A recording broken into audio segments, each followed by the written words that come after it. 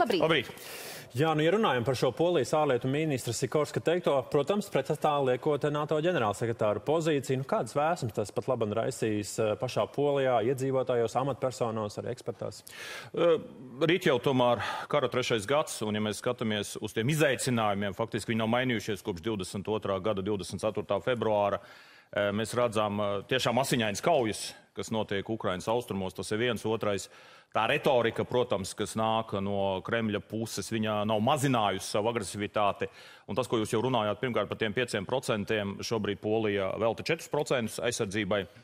Šie 5% tā ir faktiski tāda apziņa, ka tas eh, konflikts, eh, karš nav noslēdzies, un Polija, protams, ka ir kaut kādā savā ziņā ir apdraudēta. Līdz ar to Polija bruņojas, Polija ir, ir, ir gatava kopā ar NATO sabiedrotajiem aizstāvēt uh, savu neatkarību. Uh, līdz ar to tas ir pilnīgi loģisks solis.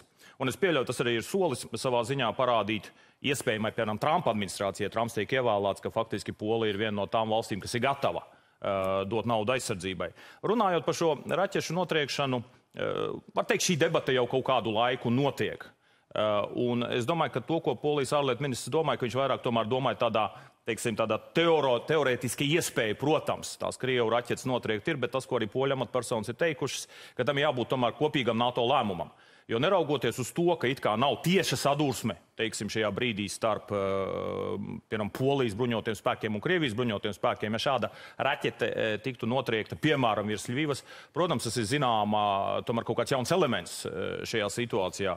Līdz ar to eh, es domāju, ka ir svarīgi, ka mēs par šīm, par šīm tēmām runājam, bet, eh, kā jau minēja NATO ģenerālsekretārs, eh, NATO nenoliedzami atbalsta un turpinās atbalstīt Ukrainu, kā arī liecina NATO samits, bet vienlaikus tiešām ir šī vēlme atturēties no tiešas kara darbības. Bet Polija mēģinās panākt sarunu ceļā ar visām NATO valstīm šādu iespējamību. Es domāju, ka tas šobrīd tomēr eh, mēs vairāk runājam par tādu teorētisku iespēju. Man, nelē, man neizskatās šobrīd, ka NATO sabiedrotajos ir tāds vienots viedoklis, ka tas būtu darāms, jo, kā jau minēju, tas atvērtu kaut kādu jaunu lapusi, un kas nozīmē, tas jau vairāk nebūtu kaut kāds tikai Polijas eh, hipotētiskais Krievijas konflikts, bet būtu jau NATO-Krievijas konflikts. Un ir skaidrs, ka ir vēlme un apzināta vēlme izvairīties no tālākas konfrontācijas. Jūs minējāt jau šos 5% aizsardzības budžetam no iekšzemes koprodukta. Cik ilgu laiku šī vienošanās polijas valdībai prasīja? Nu, vai, vai tas bija viegli no tiem 4 uz 5 pāriet? Nu, gan, es domāju, naudas kā izteiksmē tas ir mm, milzīga summa, jebkurā gadījumā. Es teiktu tā, ka polijas politiskā elite, neraugoties vai tā ir valdība un opozīcija, ir, ir, ir skaidra apziņa, ka nacionālā drošība ir ļoti svarīgs temats. Uh, un es vēl teiktu, ka šeit ir tāds nedaudz arī iekšpolitisks moments. Um, iepriekšējā valdībā PIS likums un kārtīgums ļoti prioritizēja aizsardzību. Un faktiski PIS mēģināja parādīt saviem vēlētājiem, ka nacionālās drošības jautājumi viņiem ir prioritāri un viņi attiecīgi labāk tiek galā šiem izaicinājumiem nekā iespējamā platformas valdība. Un šeit mēs redzam, ka šī valdība, ko vada platforma Donalds Tusks, gan Donalds Tusks, gan Radoslavs Sikorskis, gan aizsardzības ministrs Košiņaks Kamešs grib parādīt, un šeit nav nekādas pretrunas, eh, tiešām viņi grib parādīt, ka viņi arī ir noskaņoti, protams, sargāt Poliju. Tā ka šim ir gan ārpolitiska savā ziņā dimensija, gan iekšpolitiska dimensija. Līdz ar to eh, atbalstot gan bruņoto spēkus, ieguldot vairāk līdzekļus, protams, aizsardzībā, nu, tas ir tāds arī skaidrs signāls savā ziņā opozīcijai, ka nē, mēs esam gatavi turpināt to, ko jūs esat paši sākuši. Esošajos ā, ģeopolitiskajos apstākļos, ā, nu skaidrs, ka Latvija, Lietuva, Igaunija, Polija ir vistuvāk ā, Ukrainai. Mēs esam ārējā NATO mm, Eiropas Savienības robeža. Kā Polija ar Baltijas valstīm koordinē kopumā drošības stiprināšanu mūsu reģionā un arī atbalstu Ukrainai? Ziniet, tā dialoga, es, es teikšu, ir, ir, ir ļoti, ļoti daudz. Eh, Faktiski, ejot atvaļinājumā, dienu pirms iešanas atvaļinājumā, Varšavā viesojās Baiba Brāža, vēl nedēļu pirms tam bija Daiga Mieriņa. Tā, šis, šī, šī darbības koordinācija notiek eh, gan starp eh, diplomātiskajām pārstāvniecībām, gan starptautiskā organizācija ietvaros. Tas notiek gan divpusēji, parlamentāri, politiskā līmenī. Jūs pareizi atzīmējāt, faktiski eh, Polijas, Baltijas valstu starpā nu, nav nekāda pretruna. Mēs nenoliedzam esam Ukrainas atbalsta avangardā. Tas, kas ir faktiski, par ko arī mūsu amatpersonas ir runājušas, un ko mēs varam darīt vairāk, bet, protams, arī darām jau šobrīd, protams, tas ir darbs ar trešajām valstīm, tas ir varbūt ar eh, nedaudz, eh, ne, ne, es neteiktu skeptiskākajām NATO Eiropas Savienības dalībvalstīm, bet ar tām dalībvalstīm, kurām varbūt ir mazāka šī emocionālā iesaiste šajā ziņā. Nenoliedzami šeit eh, ir gan liels darba lauks, gan ANO, tā, tā var būt gan Āfrika, tā var būt gan Latvija Amerika. Tas ir tur, kur mēs varam savā starpā sadarboties. Bet teiksim, tas savstarpējās uzticības līmenis mums ir ļoti augsts. Un atkal atgriežoties teiksim, iepriekšējās valdības retoriku, un tagad, piemēram, ko saka Radoslavs Sikorskis, tur, tur nav nekādas atšķirības. Es teikšu, šī valdība izprot šo karu un radītos riskus pilnīgi identiskā iepriekšējā valdība. -hmm. Vai jūs redzat, ka kaut kas mainīsies tajā kopējā Eiropas pozīcijā, ņemot vērā to, ka, nu, ka ir sācis strādāt jaunais Eiropas parlaments sasaukums? Es domāju, ka ļoti svarīgi, ka vakar ieguva uzticības balsojumu Ursula Fonderlajena, un, un faktiski mums ir tādi nosacīti pieci gadi, atkal zināmas stabilitātes. Mums ir redzam diezgan prognozējumu, teiksim, Eiropas Savienības politiku turpmāk. Es neredzu neko, lai, eh, lai no tā kaut kas mainītos. Skaidrs, mēs jau redzam, mums ir uh, Viktora Orbana, tur miera vojārs, mums ir Slovākijas premjera izteikumi, jā, tas viss ir tiesa, bet tomēr Eiropas parlamenta vēlēšanas parādīja, ka tomēr Eiropas pilsoņi vairāk vai mazāk grib turpināt to iepriekšējo kursu, kas ir.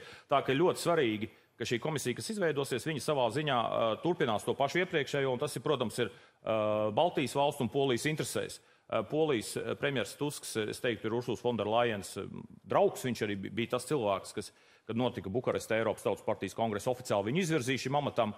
Līdz ar to, manuprāt, ir ļoti svarīgi, ka tas kurs nemainās un, un mēs turpināsim atbalstīt Ukrainu, cik tas ilgi būs neiespējams. Kā ir polijas iedzīvotājiem, nav pagurums no atbalsta?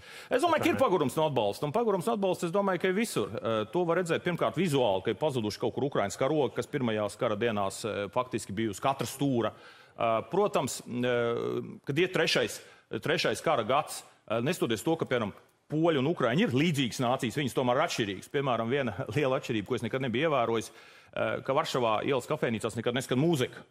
Savukārt, piemēram, Ukrāņi desmitos vakarā mīl, piemēram, ieslēgt magnetofonu, kad dārda viss rajons. Un, protams, ka poļi to redz.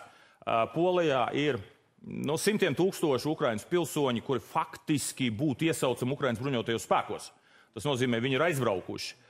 Protams, ka izraisa kaut kādas tādas rīvēšanās. Nu, skaidrs, ka tur tas autoparks, kas dažiem ukrāņiem tur ir pieejams, viņš ir labāks nekā pašiem poļiem. Bet te jāņem vērā tas tāds absolūtais ukrāņu mazākums. Tur nevajadzētu filmēt vienu vai otru mašīnu un domāt, ka visi ukrāņi tā dzīvo.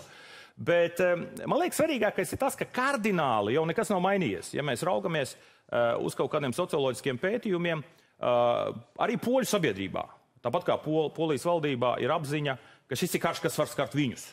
Eh, ir apziņa, eh, ka eh, poļi paši bieži saka, vēsturē reti kāds ir karojis mūsu vietā, un šajā situācijā ir tā Ukraina, kas karo. Ir apziņa, ar ko tas viss draud, ja, piemēram, Ukraina krīt.